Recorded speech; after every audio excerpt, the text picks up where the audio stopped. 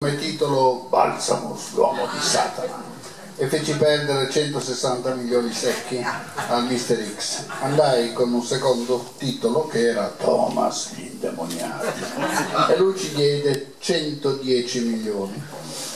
Stavo girando, anche quello glieli feci perdere, allora stavo girando questo film Thomas gli indemoniati in una chiesa di Ferrara quando a un certo punto doveva arrivare un'attrice da Milano che avevo scelto, avevo fatto centinaia di provini, non parlo di avevo fatto 100, 100 provini 100 provini e arriva questa e deve arrivare questa a Milano. E da Milano era uno che aveva fatto la scuola del piccolo, era bionda, occhi azzurri era, era praticamente una Greschelli milanese. E, e finalmente mi ha detto il regista guarda che è arrivata la signora di Milano mi farà venire non farlo vedere. Non lo racconto più. Allora, allora è arrivata questa, entra questa qua, non era bionda, non aveva gli occhi azzurri, era tutta, dico, se si è cambiata così tanto. Era bruna, riccia, tutta truccata, come andavano loro, sandalona, poi Rene Papas, queste... Ma chi è lei, scusi? No, volevo dire che la mia amica non è potuta venire e ha mandato me.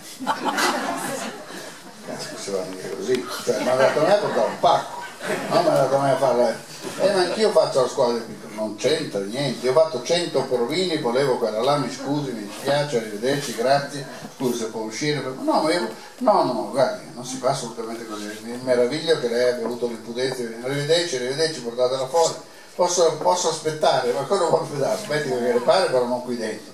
Mi raccomando, arrivederci. Mi sento veramente ferito, è veramente una figura orrenda che ne guarda tu, uno che rimanda un'altra a fare un film a parte. Tutto il giorno giriamo, girare, girare, girare. E i miei aiuti registi continuano a dire, guarda che la fuori sta seduta in un bar di fronte, non si muove, non si muove come non si muove?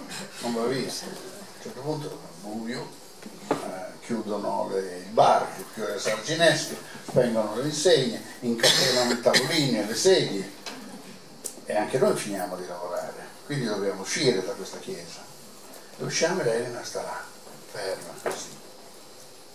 Io dico, io che sono un po' buono fondamentalmente, venga qua. Molto buono. Eh? Molto buono. Molto buono, mai buttato.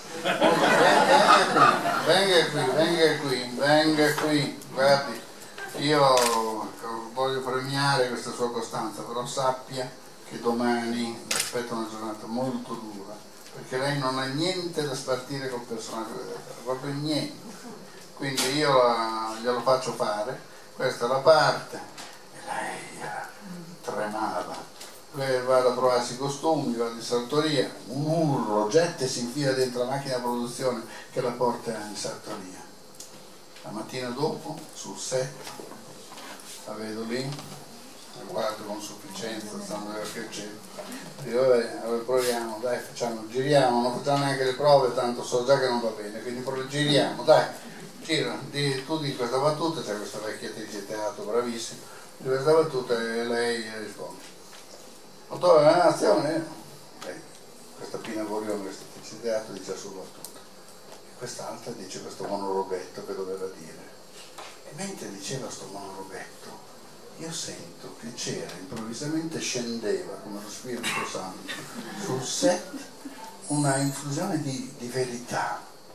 Cioè lei riusciva a portare dentro il mio cinema la verità. E io mi ricordo, sono, sono ancora i brividi perché provai veramente un brivido e alla fine di questa cosa ci fu l'applauso di tutta la truppa allora io le dissi ma era la prima volta che provavo una cosa di questo genere con l'attore ma lei chi è? come si chiama? Mariangela Melato